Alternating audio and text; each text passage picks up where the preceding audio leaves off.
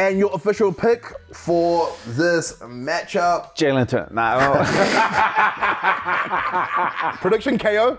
I don't know. How long's a piece of string? You can't. Damn, that's a good question. Ooh, okay, Mr. Philosopher.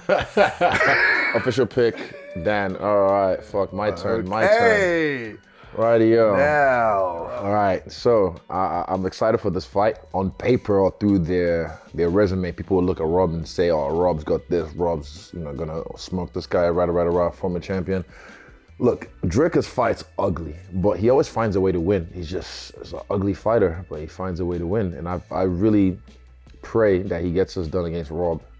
I really, really pray he gets this done against Rob, just because I think it's one for the history books. Dricus, if if he wins, I'm gonna I'm gonna punish him. I'm gonna torture him. Have you ever sparred this guy? You ever sparred him? I didn't spar him. I was. But at, was I was at Tiger when he was there. I did too. Like he just think- asked me to roll, and I was like, sure. And then I just came back from China, and oh, bro, you didn't know shit back there. so he just held me down, tried to beat me up. Then when it was time to stand, I just did my thing. I got I got asked about like what I thought about the matchup, and then I just said Dricus didn't have to fight Whittaker to get the title shot.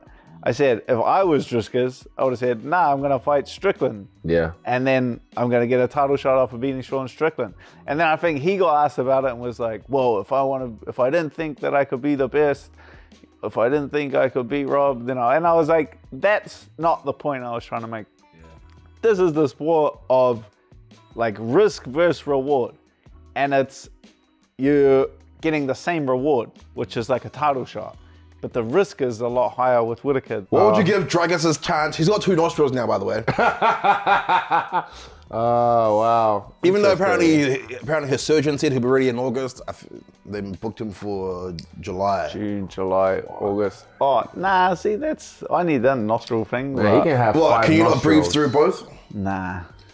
But can I have- haven't had it since I was like 18. So Or are you one of those ones? Are you waiting for a broken nose and then you'll do it? Well, I hear like you gotta have like a massive amount of time off, and then I, I guarantee I get a fix. I take six months off. My first sparring session back, I get my nose crushed in, and then we're back to square one. So I just Ah, psh. So what would you say Dricus' chances of beating Rob are? Dan, I'll take your, your percentage first. How long is a piece of string? Come on.